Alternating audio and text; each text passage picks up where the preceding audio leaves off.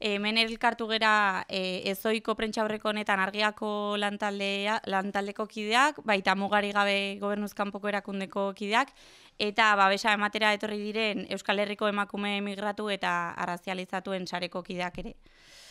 Eta hau adirazteko da prentxaurrekoa. Solguei, utzi argia bakean, kazetaritza ez da delitua. Guatemalako kazetari bati argiak egindako elkarrizketa bat ezabatzeko eta amabos mila euro ordaintzeko eskatu digu Solway Investment Group multinazionalak. Argiak ez du horrelakorik egingo, eta kazetaritza independente aldarrikatzeko baliatuko dugu erasoa. Argiak apirila maieran elkarrizketa egin zion Guatemalako Paulina Albani kazetariari. Prensa komunitaria edabidean kolaboratzen du albanik eta mugarik gabe gobernuzkanpoko erakundeak gonbidatuta etorri zen Euskal Herrira. Argiarekin hitz egin zuen besteak beste, eskuartean duten ikerketa bati buruz, Mining Secrets. Nazioarteko irurogeita bost kazetari daude tartean, esaterako Suitzako RTS irrati telebista publikoko kazetariak, baita The Guardian, Le Monde eta El País segunkarietakoak ere. Zortzi milioi dokumentuko filtrazio bat jasota, kazetariek ondorioztatu zuten, suitzan egoitza duen, solgui mehatzaritza multinazionalak, Guatemalan dituen bi filialek egindako kutsadura txostenak ezkutatu dituela. Tartean, herrialdeko lakurik handiena den izabalekoa.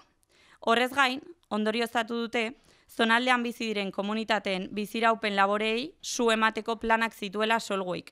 Tokiko liderrak erosteko diru funtsak zituela, Guatemalako Polizia Nazionalari dirua bidaltzen ziola eta abar.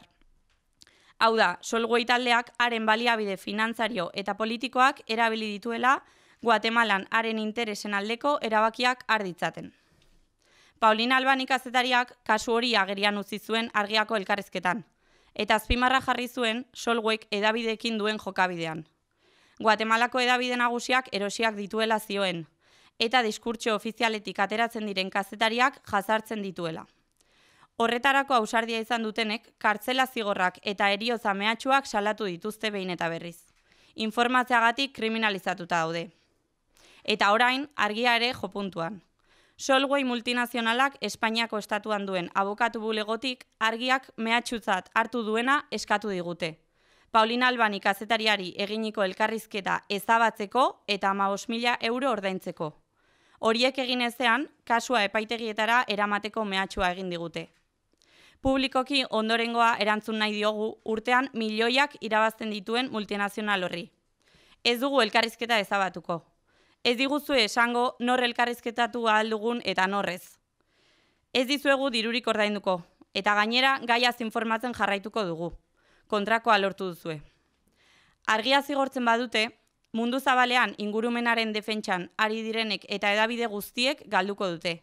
Horregatik, argiaren komunitateko kidei, gure irakurleei, kazetaritzaren sektoreari eta injustizia ororen aurka ari den denei babesa eskatu nahi diegu. Kazetaritzaren independentzia defendatzeko. Salaketa honi oi hartzuna emateko eskatzen dugu eta balio dezala, banaka eta isilpean egiten dituzten mehatxuei elkarrekin eta ozen erantzuteko horrela bakarrik lortuko dugu gelditzea. Azkenik, Guatemalako prensa komunitaria edabideari eta Paulina Albani kazetariari argiaren elkartasuna adirazi nahi diegu. Baita lankideon babes eta besarkadarik gozoena ere.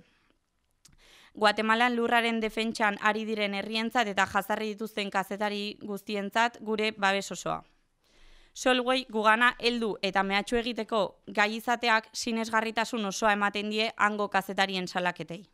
Beraz, ozen esango dugu, kazetaritza ez da delitua, ez gaituzu eixilduko, utzi argia bakean.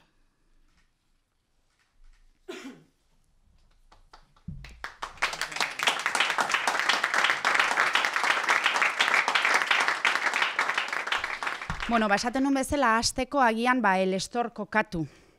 El Estor Guatemalan dagoen udalerri bat da eta Izaballakoaren ertzean kokatzen da.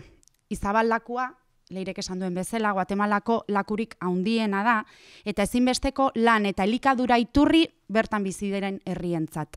Hain zuzen Kektxi herri mailarentzat.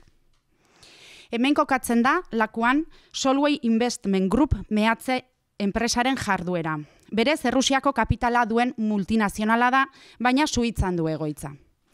2000 maikatik Fenix, Fenix meategia ustiatzen duen enpresa da. Eta Ertamerikako aire zabaleko meategia undienetako bat da. Bere web, webgunean dioenez, nikel ateratzeko munduko enpresarik handiena ere bada. Errusia, Macedonia, Liberia edo Indonesia bezalako herrialdeetan presentzia duena. Enpresak dituen konexioak eta interesak ulertzeko, esan beharra dago autokumpu fabrikatzaile Finlandiarra dela bere bezero nagusienetako bat. Azken hau, altzairu erdogailtzaren fabrikatzailea da, besteak beste, Ikea eta Bos Siemens hornitzen ditu. Eta gaur egun gure etxetan aurki ditzakegun arraskak, maitresnak eta etxetresna elektrikoa fabrikatzeko erabiltzen den osagaia da. Elestorreko komunitateek eta herri komunikatzaileek, prensa komunitariak barne, urtetan salatu dute meategiaren jarduna eta horrek duen eragina. Hain zuzen, meategiaren ingurumen inpaktua eta honek bertan bizi diren komunitatetan duen inpaktu kaltegarria. Zein izan da erantzuna? Errepresio gordina. Atxiloketa arbitar, arbitrarioak, frogari gabeko sumarioak irekitzea, kriminalizazioak, etxe bizitzak bortxatzea, jazarpenak, setio egorak eta hilketak. Eredu hori, Latinoamerikako mehatzen presa multinazionalen jardunean nahiko arrunta den arren, leirek esan duen bezala. Kasu honek badua, badu alde nabarmen dat. Hau da leirek esan duena. Izan ere, zortzi milioi dokumentu eta barne mezu filtratu dira eta jarduna ikertu ahal izan da.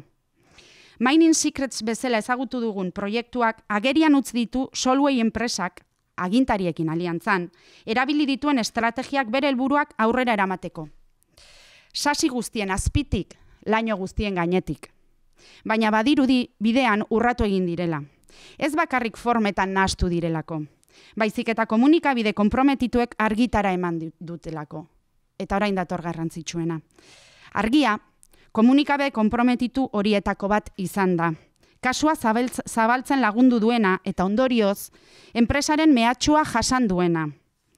Adierazpen askatasunaren kontrako eraso hau, planifikatutako lan, larderia estrategia baten parte da. Gaur, argia jasaten duen hau, bihar, beste komunikabide edo eskubideen aldeko erakunde batek jasango du, eta jasandu, atzore bai.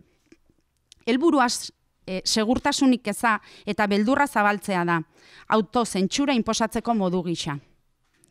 Udefego hau Guatemalako erakundearen abera, 2008 matean bakarrik, giza eskubideak defendatzen dituzten pertsona, komunitate eta erakundeen aurkako mila bi eraso izan ziren Guatemalan eta gizarte komunikatzaileak dira kriminalizatuen dauden eremuetako bat. Elestorreko kektsi herriaren borroka babestu dugu, babesten dugu eta babestuko dugu. Hainbat txosten eta bisitaren bidez, eta zenbait elkartenen lana babestuz, ala nola, prensa komunitaria. Baina gaur, gure babesa, elkartasuna eta maitasuna publikoki adierazi nahi dizkiogu argiari ezinbesteko bidelagunak baitzarete, pertsona eta herri guztientzat bizitza duina ardatz duen eredu bat sustatzearen aldeko bide honetan. Beraz, zuekin batera, ozen esango dugu. Kazetaritza ez da delitua. Ez gaitu zue isilduko. Utzi argia bakean.